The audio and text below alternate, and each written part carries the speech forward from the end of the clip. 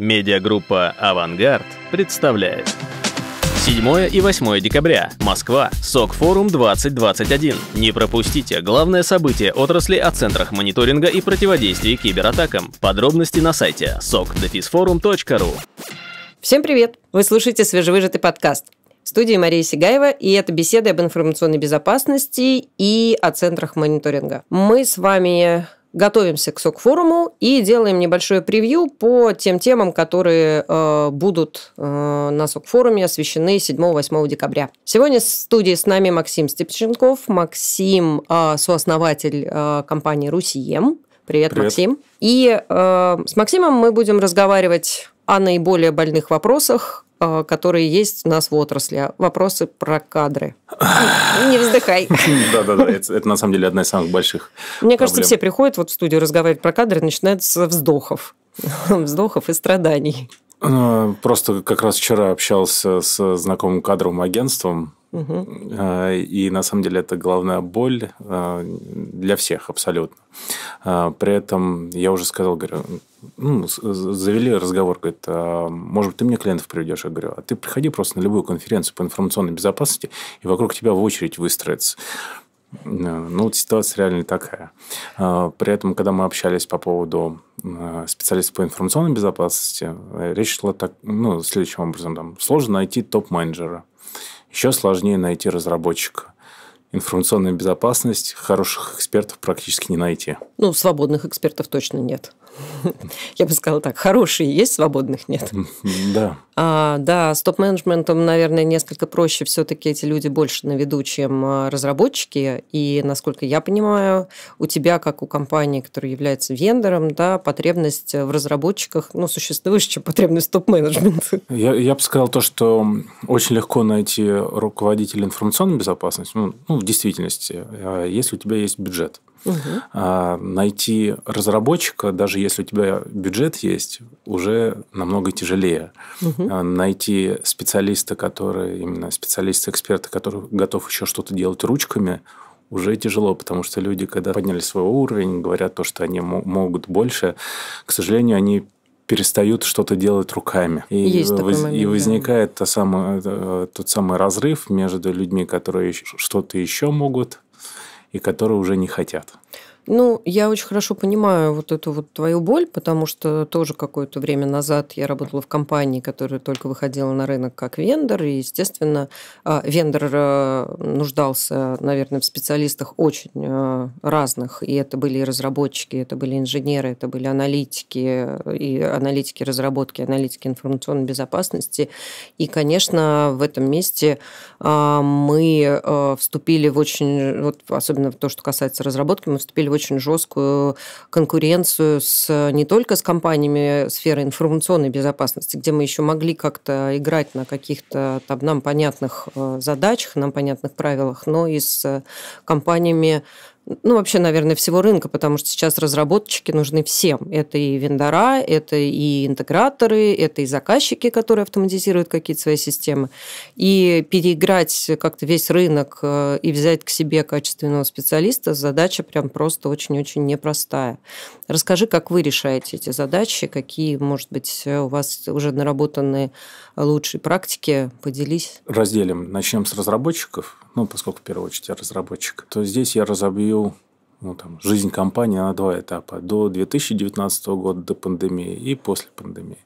А, до 2019 года у нас одно из основных там, преимуществ было, мы были все на удаленке. У нас угу. разработка вся на удаленке. Угу. И это был наш вы в регионе были? Ну, народ абсолютно распределен. То есть, это и Казань, и угу. Дагестан, и Питер, и где у нас только нет разработчиков. Угу. То есть, мы ищем специалистов. При этом неважно, ты будешь в России, не в России, нам нужны специалисты. Э, мы искали, нанимали, все было хорошо. Пришел 19 год, пришла пандемия, а заказчики, другие интеграторы, другие разработчики поняли то, что другого выбора нет, и они начали себе нанимать тоже удаленщиков.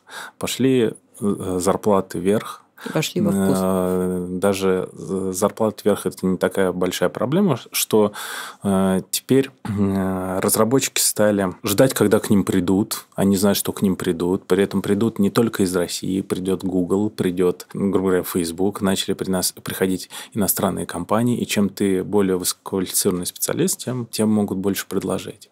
Соответственно, выросли российские зарплаты, и потребности. Потребности и так далее. Это вот какой, некоторый такой снежный ком. В результате мы получили то, что э, за специалистов идет очень большая война, платят, предлагают там дополнительные э, преимущества. Но хуже произошло даже не с этим. За специалистов можно платить, э, потому что нехватка специалистов, пошла нехватка медлов, угу. и начали джуны просить тоже очень много.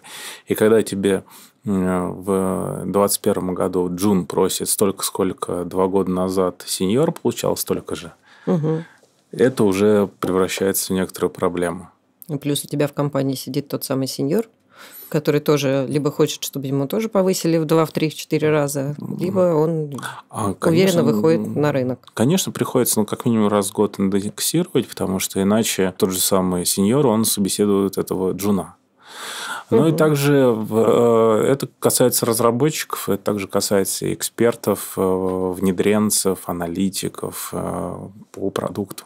Та же самая проблема. Как вы в результате э, вот в таких очень непростых нынешних условиях, э, очень хорошо понимаю, насколько непростых, принимаете решения по э, тому, как вообще вам, в принципе, развивать дальше бизнес, да, двигаться с точки зрения ресурсов кадровых? Я вижу, насколько ты сам интенсивно вовлечен в процесс подбора кадров, там, взаимодействия с ними. Я вижу это в соцсетях, твои посты. Я понимаю, что ну, это не просто так, когда э, человек, который основал компанию, сам непосредственно руками во всем этом участвует. Вот. Ну, хочется понять, э, как, в общем, действуете. Ну, во-первых, мы не боимся, даже приветствуем работу с людьми, как называемые там студентами или мало опыта. Угу. У нас таких много, и с удовольствием берем на работу. Очень приятно, когда э, приходят э, дети моих друзей, угу. так приятно. Несколько уже работает, э, при этом некоторые даже еще не закончили институт. Угу. Кто-то учится. Первое, это значит молодых ищем. Второе, мы понимаем то, что нужно переквалифицировать людей. Угу. У меня есть ряд проектов, ну, там, в другой компании, там, не в рамках Росиема, где мы привлекаем IT-специалистов низкого уровня, смотрим, если они грамотные, мы их переводим в информационную безопасность. Угу. Потому что Добавляете если... как-то им... А, ну, каким образом вы специализацию-то им меняете? Э, специализация меняется просто жизненным опытом. Я преподавал в институте, там, в сумме, угу. 12 лет, и я помню хорошо то, что человек, который учится в институте, он тоже ничего не знает. ну, вот это реально. Ну, формально у него есть корочка. Он, у него есть корочка, за которую он хочет угу. дополнительных денег ну, мне главное, чтобы человек был умный, угу. с горящими глазами. Такого возьмем на работу, обучим, тем более он сам захочет учиться он сам захочет познавать больше. Э, на прошлой неделе на одной из конференций встретились, например, с одним человеком. Он раньше занимался именно такой классический осушник. Угу. И ему заставили заниматься безопасностью. Но, заставили. Но он сам сказал, тут мне принудили. Угу. А теперь это все очень хорошо. А, и я хорошо понимаю, что это то а же теперь самое. он узкий специалист, востребованный. Который очень э, высоко востребован. У меня есть друг, который живет э, город Октябрьская, Республика Башкортостан, то есть uh-huh. где-то там далеко. Я ему когда рассказал про нашу тематику, он говорит, он э, из энергетики, осушник, он говорит, я хочу к вам. Угу. Почему? Он говорит, да потому что у вас люди мало опыта получают на порядок больше, чем у нас эксперты. Угу. Это вот реальность. А при этом э, все-таки мы внутри отрасли считаем, что не доплачивают именно ИБшникам. Да, ну это не так. Вот на самом деле. Нет, ну если посмотреть на там заработки в IT там разработке, то очень даже может быть. Ну, IT-разработка – это другая тематика, потому что народ перекупает западные компании. ИБшников не перекупают. Не перекупают. То есть ИБшники удаленно внутри э, работающие с другой стороны, наверное, это ну, не камильфо. Да. Что бы еще сказать с точки зрения, как решить кадровый вопрос? Э, ну, наверное, предлагать интересные задания, задачи. Очень интересно аналитиков перетаскивать, например, из пинтестеров, как казалось. Э, не, не думал, не думал, а оказалось угу. то, что у них прям глаза горят, особенно когда можно совместить э, две задачи. Одно это рекомендую для интеграторов, это люди, которые занимаются и пентесты, и, например, их э, посадить как аналитики CM-систем. То есть, если угу. совместить полезное с приятным, им это интересно, и у них опыт возрастает, и они смотрят с обеих сторон одновременно. Ну, да, наверное, конечно. Ну, то есть они практику свою переводят уже непосредственно в, так скажем, в фичи в продукте. Да. Mm-hmm. Вот мы этим сейчас хорошо пользуемся. Поэтому Три рекомендации. Не бойтесь э, студентов, э, там мало опыта, берите людей из смежных отраслей и не бойтесь переучивать людей. Вот эти вот рекомендации. Тогда проблем особенно. Ну, естественно, к сожалению, когда мы бюджетируем следующий год, нужно бюджетировать плюс X процентов от текущего, и это не инфляция, это, угу. это потребности рынка. Диктат, да. Согласна. Ты э, затронул интересную тему относительно вот, э, специалистов из смежных областей. Ведь на самом деле э, вот атлас профессий, который сейчас там э, новый да, появился, там есть такие профессии, которые звучат прям, ну, даже фантастически несколько. А, но на самом деле это все э, новые специальности, которые возникают на стыке технологий, на стыке каких-то задач, которые э, возникают в других отраслях. И мне кажется, что и у нас в нашей а, сфере так или иначе тоже, ну, мы сейчас уже видим, да, что у нас возникают там такие роли, как там DevSecOps, например, да, там раньше не, не было такого, да, ну вот, э, возникают какие-то ребята, которые занимаются разработкой именно в ИБ, и тоже, в общем, это востребованное очень направление. В общем, масса вот таких вот новых задач, там и ИВБ, да, там со, со своей спецификой тоже. Вот как в этом смысле нам э, поступать? Ведь должно быть некоторое такой ну, не знаю, как скажем, предвидение, что ли, да, у компании, компании, которая делает продукт, которая хочет, чтобы их продукт был востребован. Как вот в этом месте ты себя настраиваешь, что ли, как бы, да, для того, чтобы понять, что будет э, нужно э, твоим заказчикам, пользователями твоего продукта, с одной стороны. С другой стороны, как это подкрепить правильно э, ресурсами, мозгами, задачами. Что выявить, э, как, какие выявить потребности, как предугадать рынок, это нужно в этом жить и жить долго, чтобы это понять. А я, например, мой жизненный опыт много-много лет уже, можно сказать так. И начинал я с обычного иники, потом был админ, потом консультант по информационной безопасности, админ по информационной безопасности, угу. начальник, начальник, начальник. Да? Но включая там опыт продаж и, соответственно, понимаю то, что прошел через все. И, наверное, понятно, я и общаюсь с клиентами, и вот мне легко понять э, э, э, потребность как заказчика, так и предвидеть, что будет.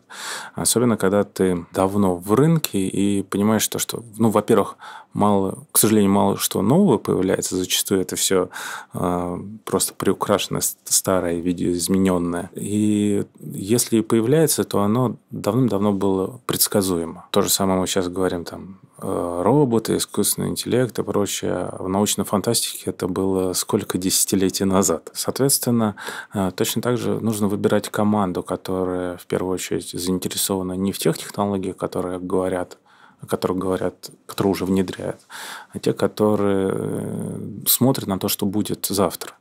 Э, нужно смотреть на конференции, ездить. При этом конференции должны быть ну, в действительности не рекламными.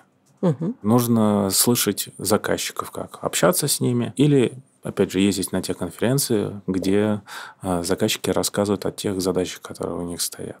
Но и самый главный момент исторически. Вот я там занимался, в том числе и пентестами проходил, занимался в свое время анализировать, как я могу взломать и что нужно сделать, чтобы я это не взломал. Если у тебя нет специалистов, которые делают, тебе будет очень тяжело в этом направлении двигаться. Это как э, там, ИИ, но я не люблю это, ИИ, ML, э, статистика, матстат и угу. прочее появилось. Э, да просто это логично. При этом мне понравилось еще в институте, в, начале 2000-х годов. Мне преподаватель говорил, мы везде это будем использовать. Ну, так, так оно и есть. Но тут, кстати, интересный момент. При этом, если этих же преподавателей, которые мне там в начале 2000-х рассказывал о теории вероятности, математическом анализе и прочее, э, попробовать позвать и сказать, давайте вы мне поможете сделать что-нибудь яичное или эмейльное в рамках моего продукта, к сожалению, он теоретик. И вот это вот э, следующий момент, э, проблема образования, и почему я говорю, не обязательно брать людей с профильным образованием. Угу. Потому что у нас в большинстве вузов преподаватели теоретики. Но подожди. Это, это первый момент. Второй момент, то, что в большинстве вузов, я там преподавал, например, на пятом курсе, у меня преподаватель, э, там, студент на пятом курсе не знает, что такое информационная безопасность. Профильная специальность. Угу. Не знают. Не знают, не могут объяснить даже своими словами. Угу. Ну, по, мне кажется, это потому, что не хватает практики. Да, то есть э, э, это вопрос как раз практики. Сейчас, мне кажется, просто не у всех э, ребят есть потребность эту практику набирать если говорить о студентах. Как-то раньше, ну вот если мы говорим о не знаю, там еще, мне кажется, даже 10 лет назад, да, э, ребята более активно искали сами возможность для того, чтобы набрать эту практику. Сейчас то ли жизнь стала более сытая, то ли, может быть, опять же, те же там пандемии сейчас, да, но прямо ну, мало ребят вот э, со студенческой скамьи, вот еще не закончив учиться, рвутся прямо пойти и начать прям работать. Да, стажировка, да, пройти практику для вуза там как-то, но вот прямо пойти и начать впахивать, да, не так много их. Ну, по-разному, э, по-разному, да. То есть, с одной стороны, могу сказать, то, что раньше не было столько интересных предложений, как сейчас в вузах. То есть, сейчас э, на доску объявления любой вуз зайди, угу. там десятки предложений от крупных угу. компаний. Ищем студентов, включая там зарплату. А с другой стороны, не знаю, народ правда начал по-другому относиться, и я удивлен, когда люди там окончили там, 4 года там, или у него 6-7 лет, приходят, и они не работали. Для меня это немножко дико. Да, есть такой момент.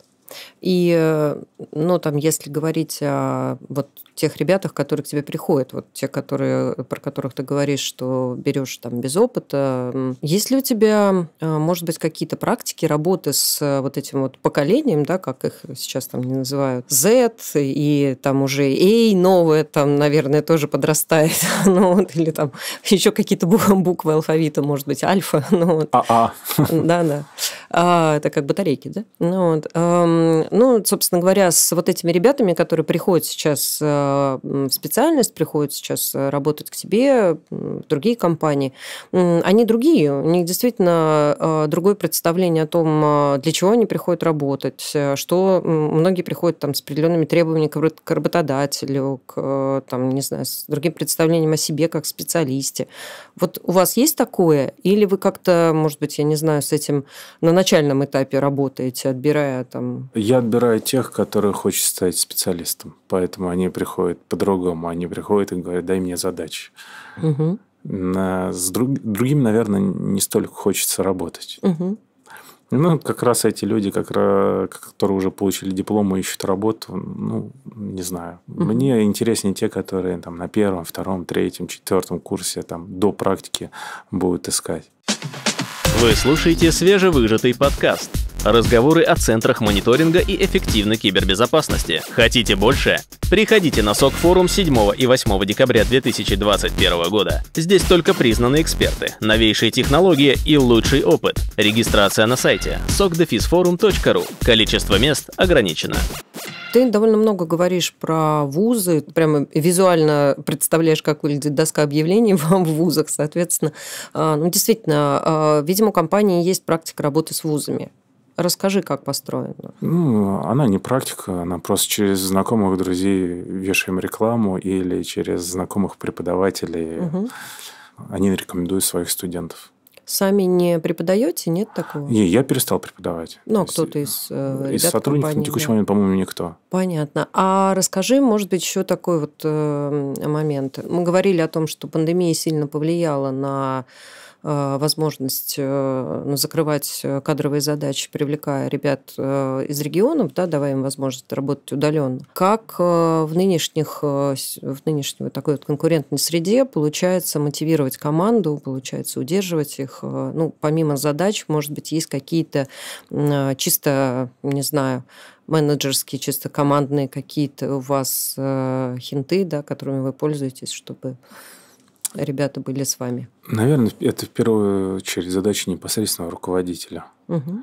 Я не могу сказать то, что от меня не уходит. От меня уходит, так же, как от э, всех остальных уходит.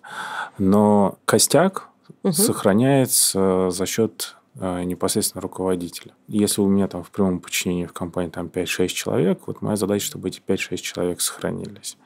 А задача каждого из нижестоящих сохранить под ним э, людей.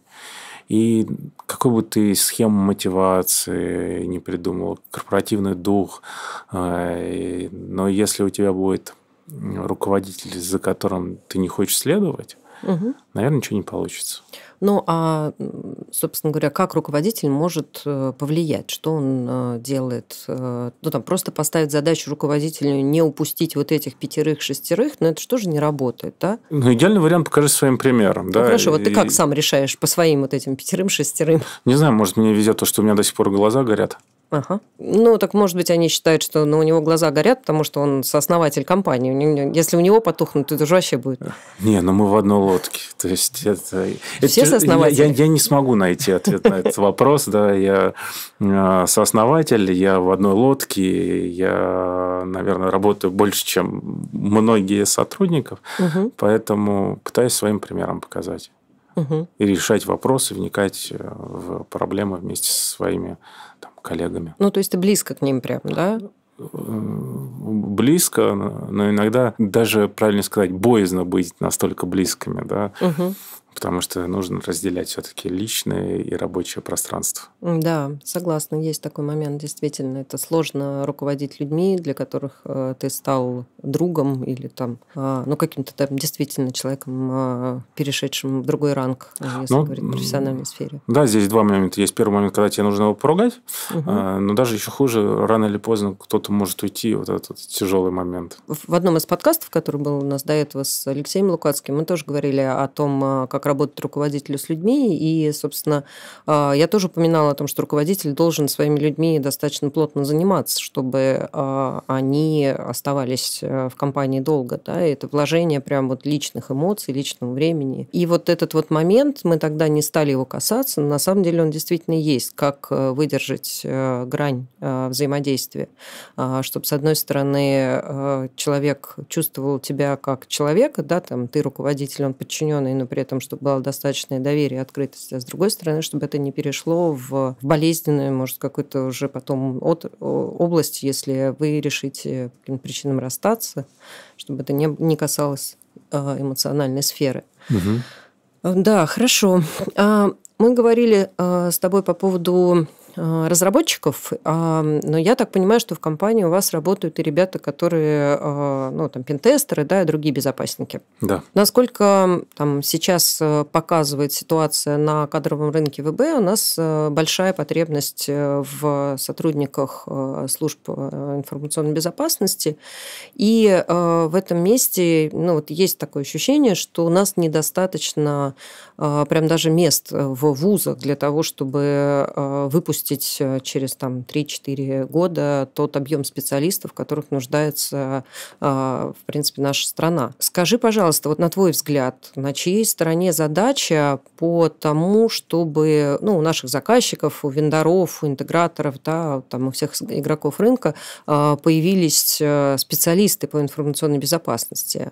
Мы ли как представители кибербеза должны об этом там, говорить на всех наших мероприятиях там, обращаться в сторону государства. Государство ли должно, опираясь на, может быть, исследования, статистику, там, а, думать об этом? А, или это, не знаю, какой-то внешний фактор там возникнет. Может быть, образование должно понимать, что если вот там есть э, потребность э, в специалистах, то оно должно их э, каким-то образом выпускать. Где, вот, на твой взгляд, лежит эта задача? На конференциях об этом говорить бессмысленно. Никто не услышит. Мы, да? Что мы между собой общаемся, все, у всех одна и та же самая там, головная боль. Если у кого и нет головной боли, у него просто значит большой бюджет. Угу. Мне кажется, что это все равно болит. Даже те, у кого большой бюджет, все равно сложности с поиском и так далее. А, говорить на уровне государства, ну, наверное, государство тоже слышит, видит, э, потому что у нас появляется такая вещь, как э, проходной балл в вузах. Угу. И это давным-давно. Если проходной балл высокий, то значит нужно наращивать, наращивать, еще больше заводить. Но есть наверняка какая-то причина, почему не появляется большее количество преподавателей, потоков. То есть э, основной вопрос стоит в том, что у нас преподавателей не хватает. Я думаю, если бы было достаточное количество преподавателей, какие-нибудь коммерческие вузы угу. могли бы организовывать достаточное количество дополнительных потоков, чтобы обучать э, специалистов необходимого отрасли. При этом крупные компании угу. вполне могут себе позволить оплачивать э, работу этих вузов. Угу. Кто мешает? То есть, если мне нужно, например, там, если какой-нибудь там крупный банк, я понимаю, что мне нужно 50 сотрудников, кто мне мешает оплатить э, сегодня, что у меня через 4 года будет 50 студентов бывших, которые обязаны мне отработать 3 года, потому что я оплатил их обучение. Может быть, отсутствие э, законодательной поддержки? Ну, рода? почему? У нас Инициатив? Э, определенные структуры же ищут себе специалистов так. Mm. Хочешь обучиться, получать определенную специальность, будь добр, отучись и пойди отработай количество лет там. Угу. Точно так же, в чем проблема? Это, этот контракт, договор, который ты заключаешь. Э, видимо, у нас еще нет такой потребности, что э, начальники информационной безопасности крупных, именно круп, я говорю сейчас про крупные угу. компании, пойдут к своим кадрам, которые пойдут и будут займутся этим вопросом заранее. Тут момент, наверное, еще связан с э, прогнозированием ситуации. А можно ли в нашей стране спрогнозировать что-то на 4 года вперед? Это не плановая экономика Советского Союза. Я в 99 году поступил на специальность по информационной безопасности, был самый высокий проходной балл. Почему я пошел на информационную безопасность? Потому что был самый высокий проходной балл, поэтому я запомнил. Но мы сейчас говорим не Ничего о потребности не э, вуза, а о потребности компании. А, э, ты как а... компания, э, понятно, что ВУЗ будет выпускать и сегодня, и завтра, и послезавтра, но ты как компания не можешь четко сказать, э, иногда не можешь, или, или может быть, можешь. Вот если в данном случае там, ты как компания можешь сказать, что тебе через там, 4 года нужно будет, не знаю, 50 разработчиков, например, да, и 30 человек пентестеров. Готов ли ты сделать такой прогноз и взять на себя задачу по оплате обучения каких-то рандомных ребят, которых на входе ты э, возьмешь нулевыми абсолютно. И ждать, что через 4 года они будут э, ну, там, такого качества специалистами, да, за которых тебе действительно захочется заплатить деньги, потом 3 года видеть у себя в компании. Ты можешь не видеть их 3 года у себя в компании, ты, ты можешь их отпустить. Ты берешь 10, из них трое останутся. Вопрос не в этом. А, вопрос в том, что если у тебя совсем большой кадровый голод, о чем ты говоришь, угу. иди к кадрам и решай этот вопрос на уровне вузов. Угу. Бери себе студенты на полставки, которые работают еще на втором курсе. Это не нужно 4 года ждать. Да. Согласна. Я поэтому говорю, что а, ну, как бы все компании смотрят в сторону достаточно быстрого решения задач. А тот, тот, тот подход, который ты предложил, а, имеет очень много неизвестных. Ну, для меня неизвестно. Но я, конечно, не крупная компания, но для меня они все равно известны. И я понимаю, что, что э, государство вряд ли быстро изменит эту ситуацию, специалистов все равно будет не хватать. Почему? Потому что ну, преподавать мало кому интересно идти. Во-первых. Во-вторых, преподавать нужно по текущим... Мы же, как если пойдем преподавать, мы пойдем преподавать не, не делиться своим жизненным опытом, угу а мы должны зачитывать вот эти вот определения, э, которые никому не нужны э, именно преподносить ту теорию, угу. которые никогда не воспользуются. То есть вопрос в другом, то, что из 100% там лекций, грубо говоря, только 20% это практика, которая тебе может понадобиться. А вот оставшимися 80 по существующим программам чем-то надо забить, наполнить. И вот этих преподавателей не хватает. Хорошо. А есть ли в этом месте а, простите за тавтологию, место для тебя, как для представителя бизнеса? Наверное, уже нет. А, я пошел, наверное, по более сейчас пустому правильному пути, ну, не правильному, а простому пути. Я работаю с кадровыми агентствами, я работаю с вузами а, на уровне, когда они уже выпускаются. Но я не говорю то, что огромный кадровый голод а, для специалистов низкого уровня. Угу. Я не говорю, что у меня голод в поиске э, среднего уровня специалистов разнопрофильных. У меня мне не хватает узкопрофильных специалистов с опытом. Угу. И поэтому ты их просто точечно берешь. Ну, наверное, да. То есть вот вопрос, кого не хватает. Мне не хватает узкопрофильных специалистов с профилем. Угу. И это не поможет ни один вуз. Это с опытом. Угу. Это люди должны получить уже опыт на пройти там 2-3 года минимум по узкому профилю. Ну, как я э, тебя услышала, ты э, эту задачу решаешь э, тем, что берешь э, людей, э, может быть, не настолько э, узкозаточенных, но дальше э, вкладываешься в них, когда они уже работают э, в компании, и, соответственно, профилируешь, э, даешь им какие-то необходимые э, знания, практические задачи, да, на которых они, я так понимаю, так или иначе начинают э, соответствовать тем ожиданиям, которые вы в них э, с самого начала, собственно, и вкладывали. Э, скорее совокупность есть студенты, правильные начальники и э, работа с кадровыми службами. Угу. Но, но самое главное, наверное, для, совет для всех – это кадровая служба, работать с ними плотнее. Угу. Работа с кадровыми службами, ну, что под собой подразумевает? Если у тебя э, кадровая служба, которая у тебя в рамках компании просто присылает резюме, не проведя первичный осмотр, тебе, может быть, там прислано там, 100 резюме, из которых тебе никто не подойдет. Угу тебя тоже время очень в этом дорого. можно стрелять. Значит. Да, это вот можно, можно отстреливать. А, но у нас э, периодически, сколько там, до четырех, по-моему, кадровых агентств максимум работал на нас.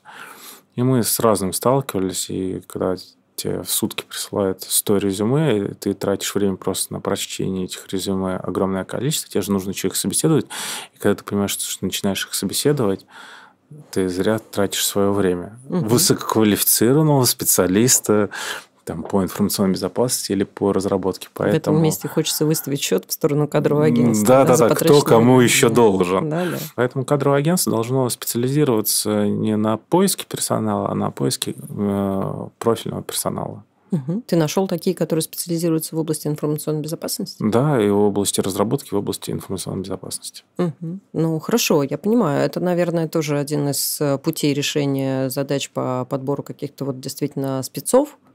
А, но если говорить, наверное, о такой более массовой истории, да, то я уверена, что таким образом эту задачу не решить, хотя просто потому, ну, там у меня есть и собственный опыт э, в подборе, да, и я там до сих пор этим занимаюсь. А, насколько я понимаю, большинство специалистов сейчас э, могут сами добраться до того работодателя, к которому они хотели бы попасть, как и работодатель, в принципе. И точно, если говорить о позиции соискателя, то большинство соискателей стремятся избегать э, работы с кадровыми агентствами. У меня есть опыт интересный. Мне ну, год-два назад нужен был сеньор Java разработчик. Угу. Очень долго не могли найти. И вот услугами одного кадрового агентства воспользовался. Соответственно, девочка искала по гитхабу выложенные угу. программы кода а, и а, находила специалистов, искала контакты угу. и спрашивала, я знаю, что вы не ищете работу, но вдруг вам это интересно. И она мне нашла специалиста необходимого мне уровня. А, а другие еще э, на просто на HeadHunter или на uh-huh. другом, или там на Job.ru, неважно где именно, никого найти не могли. То есть это именно уже хантинг.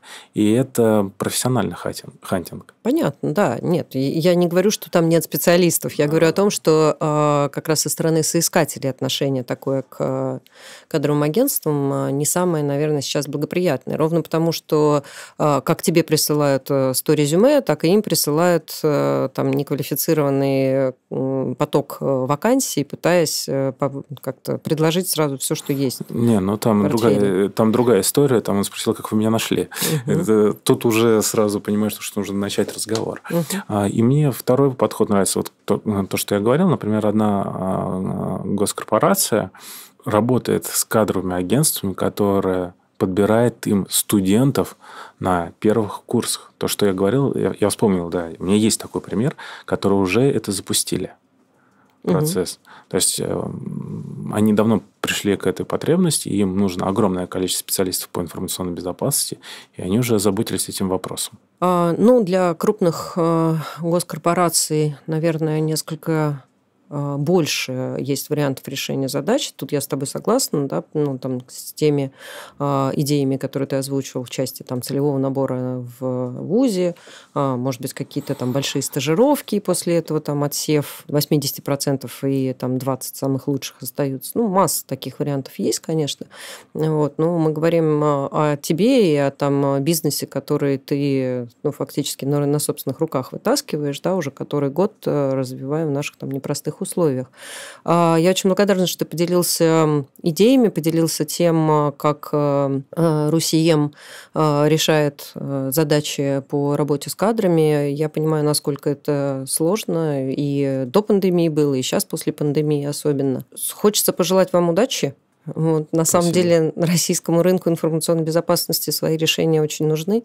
А, ну и я думаю, даже не только нашему, нашей отрасли, а вообще в целом а, России. Поэтому то, что делаете, огромное дело. Сил вам и удачи. Спасибо. Всего доброго. Мы хотели бы сказать с Максимом, что приглашаем всех наших слушателей на СОК-форум 7-8 числа декабря э, традиционно пройдет э, мероприятие, на котором можно будет встретиться и пообщаться о всех насущных э, проблемах нашей отрасли. Ну, абсолютно поддержу. Наверное, то, что СОК-форум – это одно из немногих мероприятий, которое стоит в списке обязательных. В первую очередь, потому что вы можете окунуться в эту атмосферу, задать вопросы людям, услышать э, мнение как экспертов, так самое главное, потребителей этих услуг, э, потому что выступают не только коммерческие там, соки, которые предлагают свои услуги, но и реальные пользователи систем.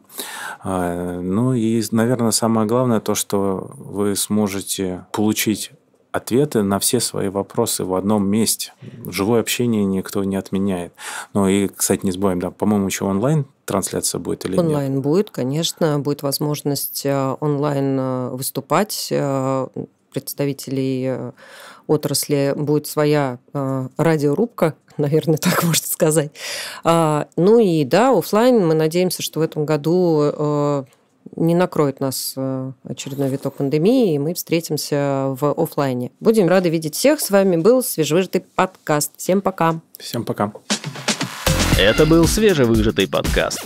Слушайте новые выпуски в преддверии крупнейшего специализированного события отрасли – СОК форума 2021. Подробности по хэштегу СОК форум и на сайте sokdefisforum.ru.